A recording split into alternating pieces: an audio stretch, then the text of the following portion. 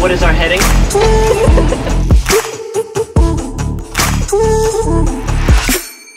this is incredible. That's a good one.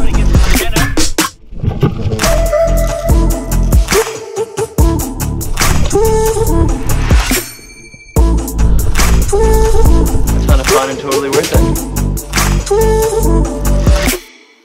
I'm Adventure Man Dan, a regular guy who's living life to the fullest. What I do, many think is crazy, but life is either a daring adventure or it's nothing at all. For years, I've taken every opportunity to explore around the globe. But now aboard my sailboat Adventureborn, I'm the master of my fate. So join me as I travel by the wind, play in the waves, harvest food from the depths, and teach those who sail with me aboard Adventureborn. We are having a bit of a lazy morning today, which I think we have earned. Maruzia, a bit of busy, busy bee this morning. It's a mission making crepes in a boat. Ooh. Thank you, Maruzia. Or you this just feast. put it back. You want some cheese? Crepes. It's like 11, or maybe almost noon, I don't know. We're about to motor out of here. Winds are coming up to just push us right in our direction along towards Hopetown. Forward!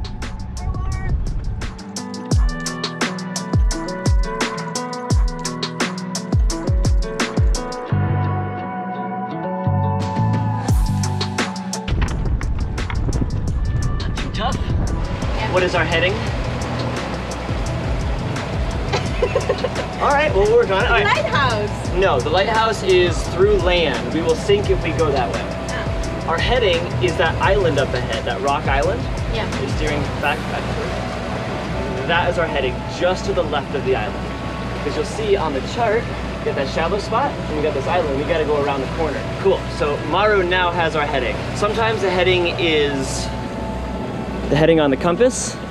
Sometimes, like at night, the heading might be some stars.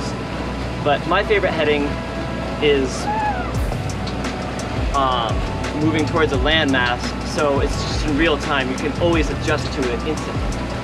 Yeah, sailing is very technical and not easy to learn at first, but I feel like once you get the basics of it, you're good to go.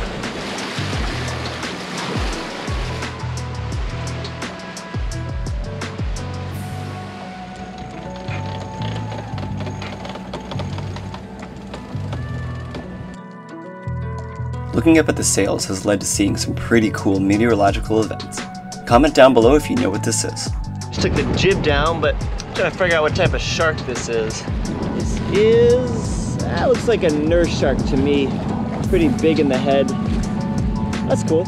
Motoring into Hopetown, I was pretty nervous. I hadn't been there since Hurricane Dorian and wasn't sure what the state of the area was going to be. Much to my relief, the good people of Hopetown had gotten nearly everything rebuilt. All right, the mooring ball's here on a first come first served basis.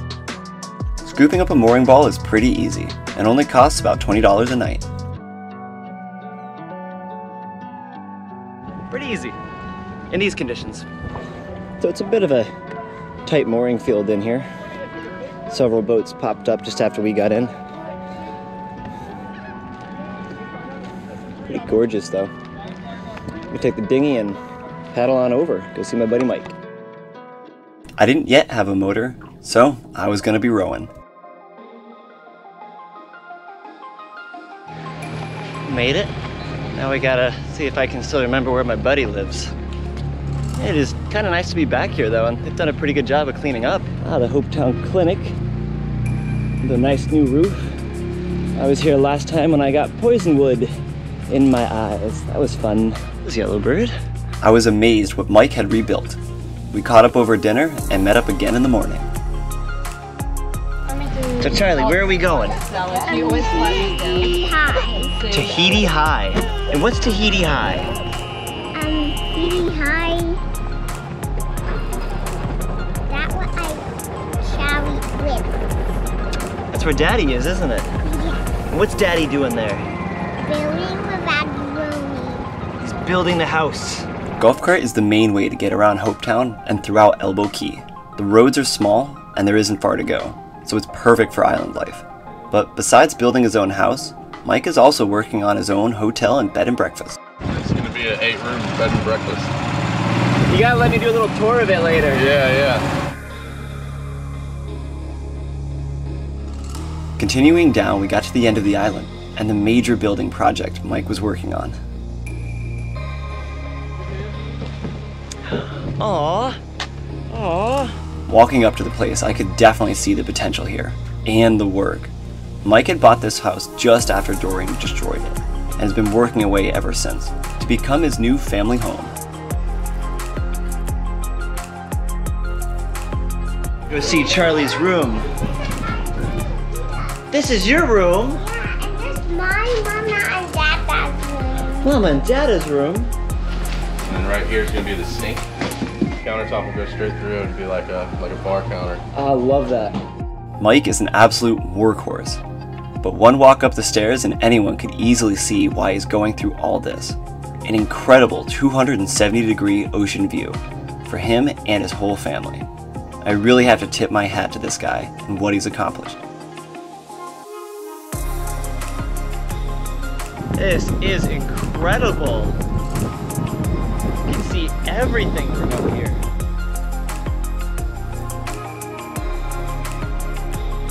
Though there's still much work to be done, I can't wait to return and see it completed.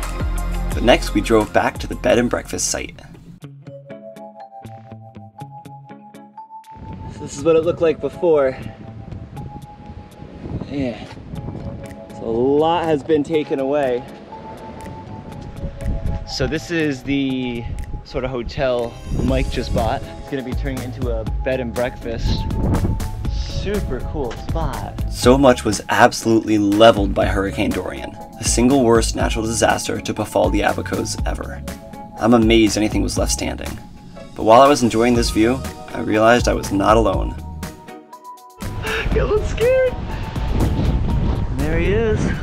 These Kestrel falcons are fierce. I know I'm safe from the hawk down here.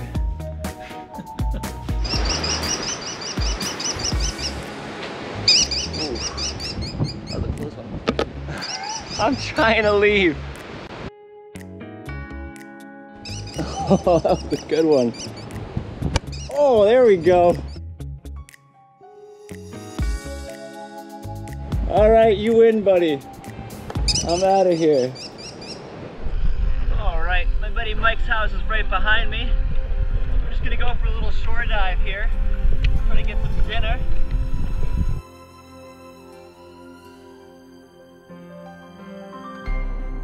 Mike and I kicked out a ways from the shore and started checking throughout the rocky reef. Unfortunately, there's about a million places for fish to hide throughout these rocks, making locating the right fish fairly difficult, but also pretty fun to get into the caves and ledges looking for that dinner.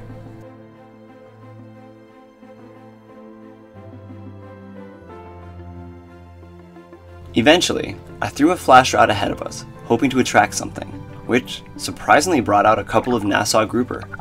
But we both thought the other spotted the fish first, and both told the other to go spear it. so instead, we each peeled off to one side, hoping to push the fish to the other.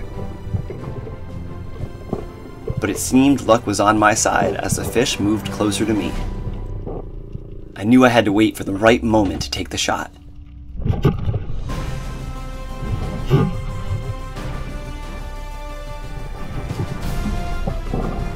I always try to grab a hold of the fish before I surface, just in case a shot doesn't hold. This further prevents losing any wounded fish.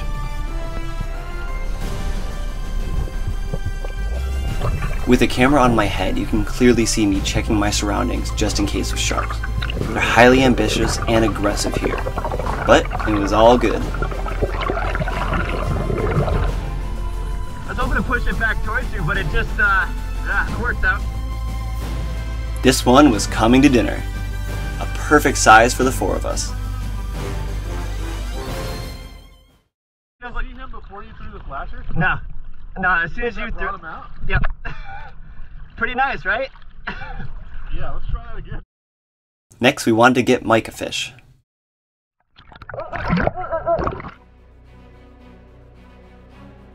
This one was super close and a little bit bigger than mine, but I think we may have been a little too noisy when we darted over to try to find it.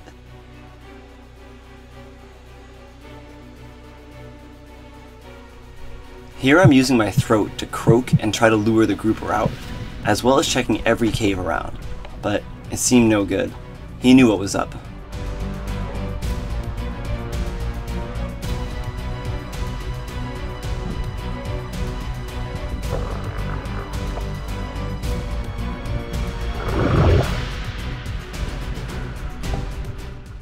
Of places to hide in there. Let's move on. I was happy with this fair-sized grouper, but it would have been nice for Mike to get a fish, and it would have been something for tomorrow or even the freezer if we had to. As we were swimming back, we noticed we weren't alone in the water. The sharks were here. Here you can see me removing the tip of my pole spear. This way I can jab the shark without doing any significant damage, but still enough to get the message across. This is my fish. Though usually, they know to stay just out of my range. The sharks in the Bahama are well known for harassing divers for their fish. Many people are too scared and just give away their fish, which, unless you're alone and surrounded, I believe is the wrong approach and teaches the sharks to always harass humans.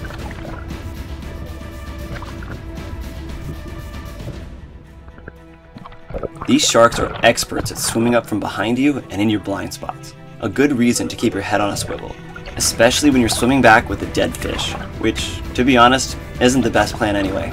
It's far better to have some sort of way to get your kill out of the water to avoid these long, dicey swims. This was a bit hectic. Notice how lowered their pectoral fins are, and their fast, erratic motions. This is an obvious indicator of an aggressive shark behavior.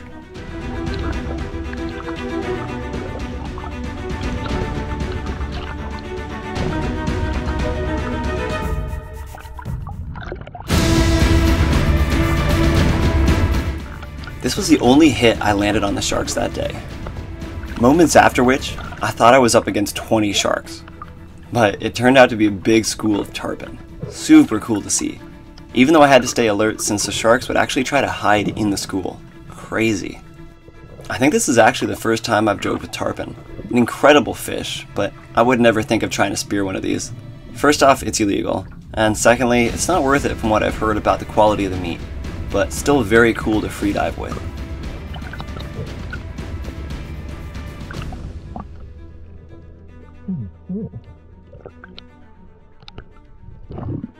But there were the sharks again, still stalking me, waiting for their chance to take a swipe.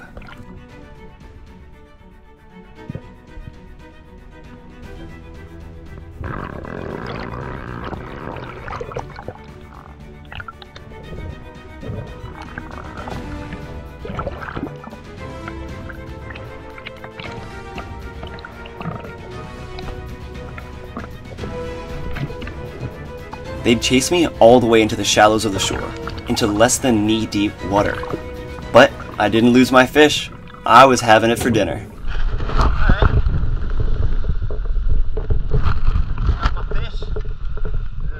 Had some fun. Got a nice little Nassau grouper here.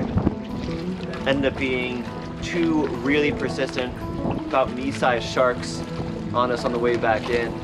And uh, you end up having to prod one of them. But uh, and then there was some tarpon and that's pretty much it. It was a pretty boring dive compared to how things can go, but still a ton of fun and totally worth it.